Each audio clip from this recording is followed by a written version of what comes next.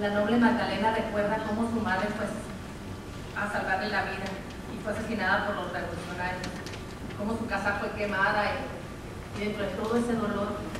cómo las palabras de amor y de consuelo le dirigió a ella, Andrea Cheguer, de Humberto Giordano, Andrea Cheguer.